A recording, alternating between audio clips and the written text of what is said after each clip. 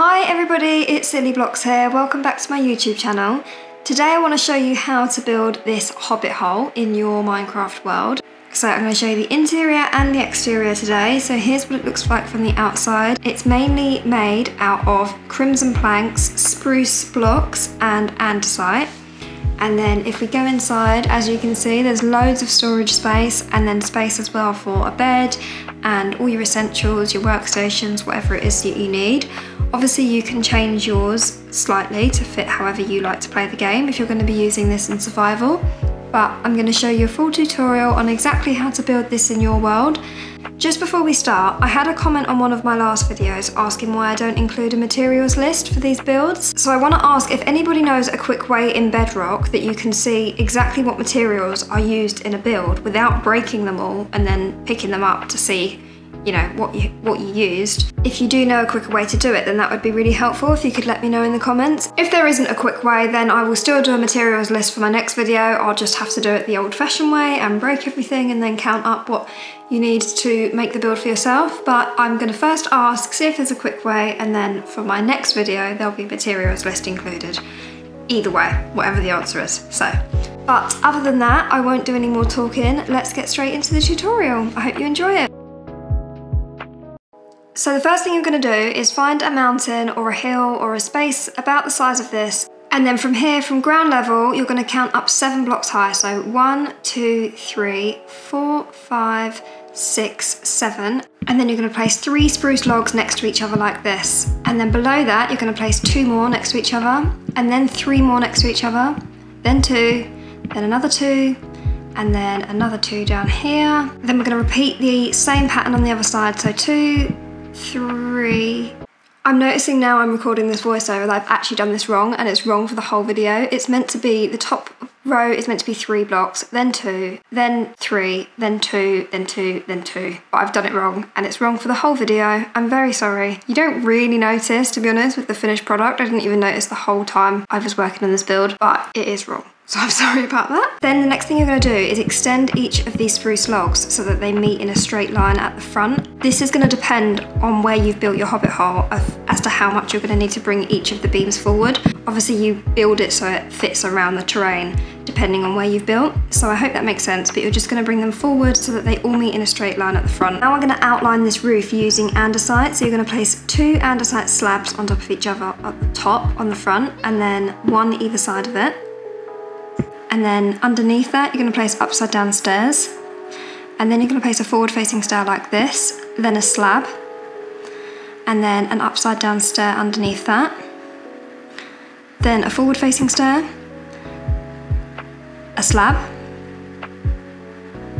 and then a upside down stair behind that one.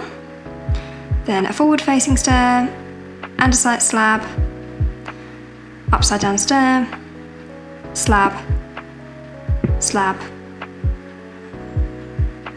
stair, stair, and then a slab to finish it off on this side. Then you're going to repeat the same pattern on the other side. Um, if you want to pause this and rewind it and watch it back a couple of times, just to make sure that you get the pattern right.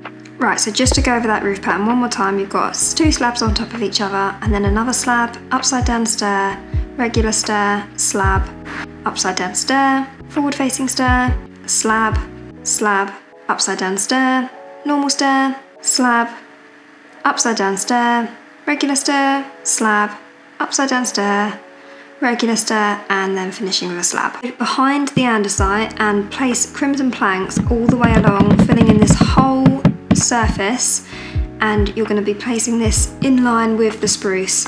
And we're just gonna fill in the whole thing for now, and then we can remove blocks afterwards to put in the doors and the windows. Once you've done that, you're gonna find the center point and then you're gonna break these bottom three blocks and then the three blocks next to it on either side. You're gonna place spruce stairs in each corner. So on the top, they're gonna be upside down and on the bottom, they're gonna be just normal, facing upwards. And then in each of the gaps that are left, we're gonna place a spruce trapdoor and close it. Then we're gonna place our spruce door just here, and then the space behind, we're gonna fill that in also with crimson planks, and then that's it for the door.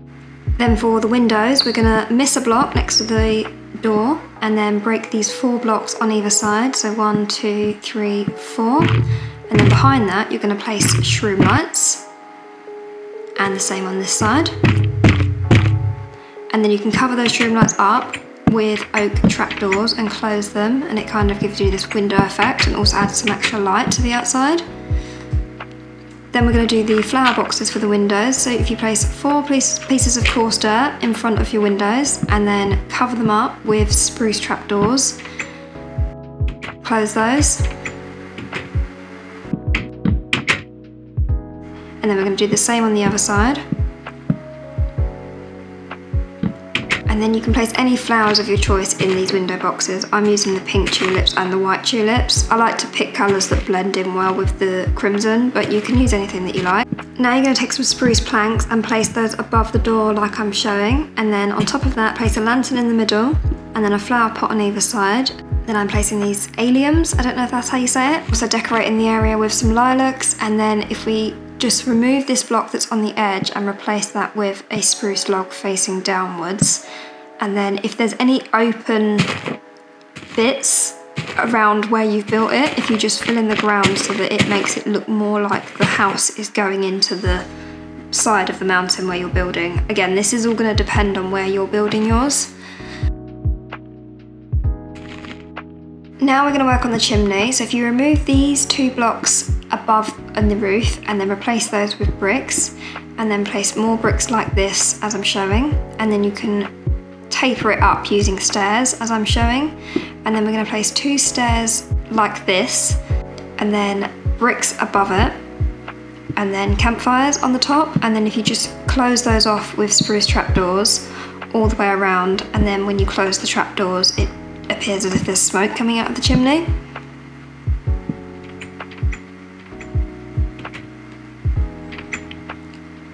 And I'm also breaking the blocks below these stairs and replacing those with upside down stairs. It just gives the chimney a little bit more shape so it's not a flat piece of brick, it looks more realistic. And then I'm just gonna fill in some of the area with bone meal and lanterns, just make it look more overgrown, gives the area a little bit more life. So you can do this however you like. I'm getting rid of the dandelions, replacing those with white flowers. And I'm also gonna put some lanterns down, just add a little bit more light around the area and make it look more personal. You can do this however you like. You don't need to copy the way I've done it, nor will you be able to because this is all gonna depend on where you've built it. I'm also putting some saplings down and just growing some trees around the area so it looks more lived in and realistic. Once you finish that, the next thing we're going to work on is just a path going up to the front of the house. So if you use your shovel to draw out a basic pattern, and then we're going to adjust it and swap out some of these blocks for coarse dirt, podzol. I like to try and swap the outside blocks for the coarse dirt and the podzol and leave the centre of the path as path blocks. If you think of what a path looks like in real life, it's sort of in the middle is the bit that's walked on the most. So that's the bit that's worn in. So if you use that as, if you use path blocks for the center of the path and then the outside is where you get like the dirt and the stones and the grit and stuff all gathering. I hope that all made sense. It made sense to me, so hopefully you understood what I was trying to say. So now that's the outside of the house finished, we're going to work on the interior. So if you come inside and then we're going to break forward from the front door by 14 blocks.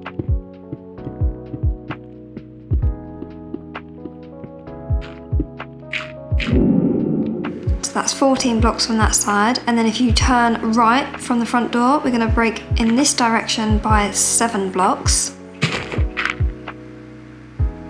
We stood at the front door, that's one, two, three, four, five, six, seven. And then you're basically gonna get rid of all the blocks now that cover that space. So you should have a room, by the time you finished, you should have a 14 by 15 room. Um, this might take you a while, even in creative, this took me ages. You're also gonna need to make the ceiling six blocks high. So that's one, two, three, four, five, six. So now once you've done that, you can replace all of the walls with oak logs facing upwards like this. You don't need to remove the block and then place it. So the 14 by 15 that I've told you to remove means you can then just place the oak straight down. You don't need to remove it to replace the wall. Except for where the door is, you're gonna leave that as crimson planks on either side. So there should be, so you should have your door and then crimson planks on either side and then the whole wall filled in with crimson planks and then all of the walls to the left and the right of that should be oak logs as well as all of the rest of the walls. I'm sorry, I hope this is easy enough to follow. I'm new to making videos and doing voiceovers, so hopefully you can see what I mean from the video footage, but sorry if I'm confusing things. and then we're also going to replace all of the floor blocks using oak planks, just like this. So fill in the whole floor using oak planks. You're going to want to place torches around as you're doing this to light it all up so you can see what you're doing. Now we're going to go into this back left corner and we're going to go forward by three blocks. And then on the fourth one we're going to place a stripped spruce log like this and then join it all the way up to the ceiling. So you're creating this beam just like this. And then we're going to place one next to it but back one. So now this is two blocks forward from the wall. And take that up to the ceiling like I've shown. And then we're going to go across by two and do another beam then we're going to go over by three and we're going to place another beam, join that up to the ceiling like before. And then we're going to go across by two, do another beam here, join that up to the ceiling. And then we're going to place one forward so it mirrors the other side. Join that up to the ceiling. Just like that. So this is what you have so far.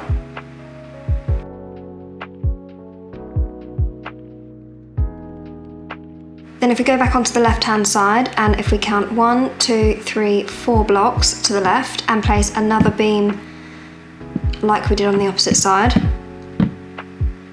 And we're going to mirror that pattern we did on the back wall. So now place another beam to the ceiling behind the last one. Space of two and another one all the way up to the ceiling. Gap of three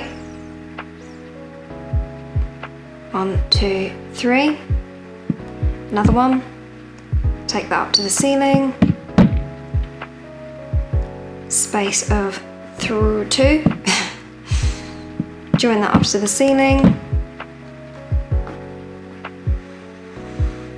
And then fill in that corner piece. Bring it forward by one. So you're mirroring the same pattern on the front and the back. Little spin around so you can see how it should look. Then you're going to join each of these beams up at the top, just like this. Including this wall here. So you're just going to bring these strip spruce logs all the way along at the top so they all meet.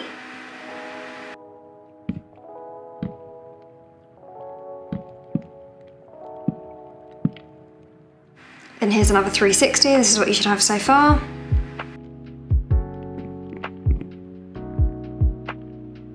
And then the next step is these two here, we're just gonna bring these beams across in the middle. So you've got these center beams joining up the front and the back. Just like this.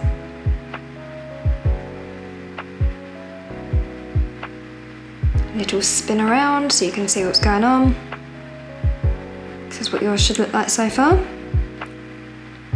Then the next step is to fill in all of the walls between the beams and the back walls of the house using oak wood planks. Let's just speed through this. So you're going to do this in every single section. So you're creating these little pods and this is where your chests are going to go in a minute. On the bit where the front door is, you're not going to use planks, you're going to use uh, oak logs just to keep it consistent. So it should look like this.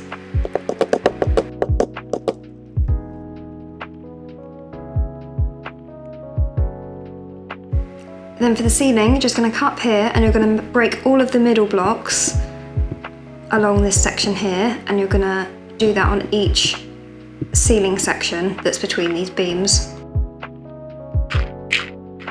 Break these blocks as well.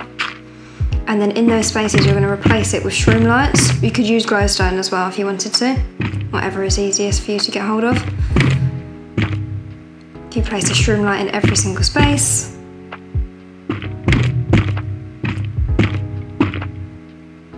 And then you're also gonna place shroom lights in the ceiling of pods, but you don't need to break, it's, it will be one lower than the ceiling in the middle of the room, and that doesn't matter. I know it looks kind of weird at the moment, but it'll be fine. And then if you cover up every single shroom light you've just placed with a spruce trapdoor, another light will still get through, and this works on Bedrock and Java. I play on Bedrock, so if you cover the a light source with a trapdoor, it still lets the light source through. So this is going to be a great way to light up the room. And then after you've done that, if you just fill in every other bit of the ceiling that's exposed with a spruce slab, so it's like this, and then you get this sort of, it's not quite domed, but it's this textured look that different pieces of the ceilings are at different heights, so it gives the ceiling a little bit more texture and realism.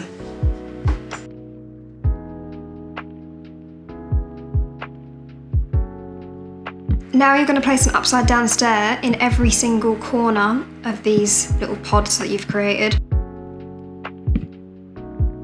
So this creates kind of an arch, gives again, gives the room a little bit more shape and texture. And you're going to do this on every single one of them. And you're also going to do it on those front and back walls, as I'm showing. And then if you also cover up the sides with spruce trapdoors, just like this, and then close them.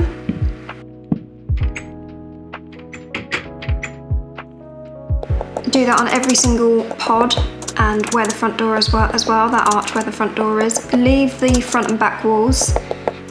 Don't put these trapdoors on those front and back walls, you'll see a little while.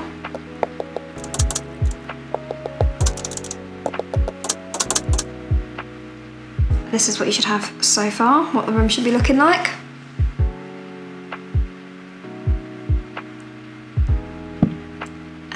Also place a trapdoor in any gaps in the ceiling and place them so they're going in the same direction as all the other trapdoors on the ceiling.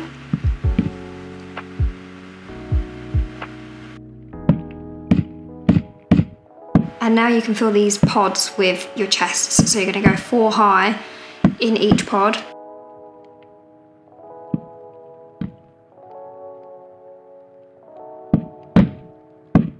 these are going to be double chests so you're going to have loads and loads of storage in this hobbit hole. So you can open the top one just fine because you've got that space above. You, there is a bit of a gap here which doesn't bother me. You couldn't place another chest because there's a trapdoor in the way. And now you're just going to go around, fill in all your chests. Uh, you might need to break the walls to actually get the right angle to place your chest, but then just put them back afterwards. It can be a bit fiddly.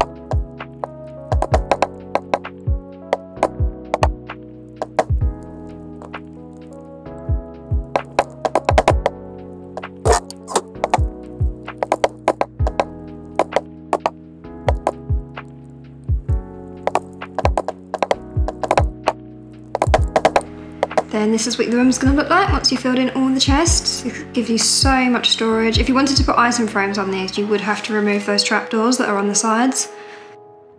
Now we're just gonna come over here and place, I'm placing a crafting table and a smithing table. You can place any workstations that you use if this is in survival. Obviously different people play in different ways, but I'm placing a blast furnace here, smoker here, and then two regular furnaces, but you could change this for all furnaces or all smokers, whatever it is that you want. And then I'm also just putting a brewing stand and a grindstone down.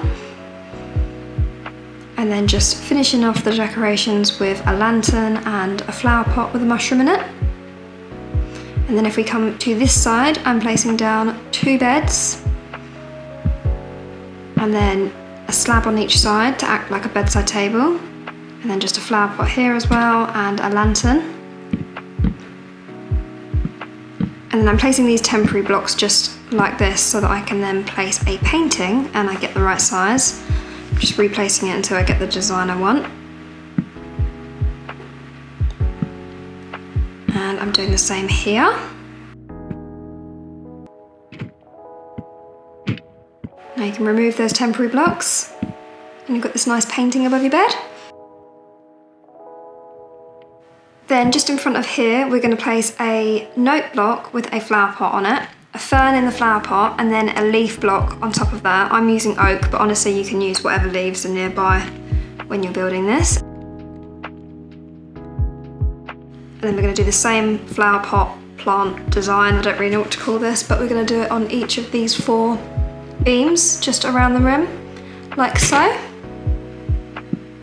And then if you break randomly some of the floor blocks, so these oak planks, and then I'm also breaking some more in a straight line leading between the door and the main room. And then in those spaces, if you just put some torches down, you can just use torches because we're gonna cover these, it doesn't need to be lanterns.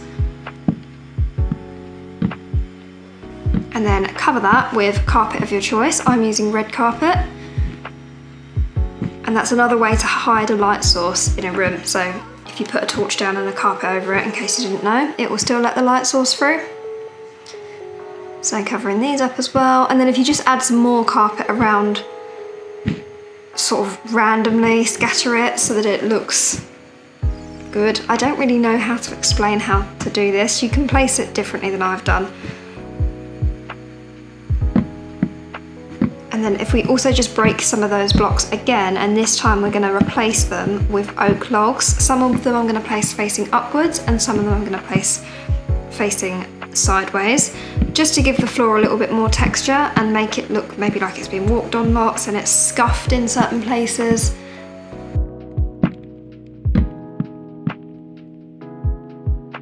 And then that's the finished design, that's all there is to it. So here's a little 360 tour.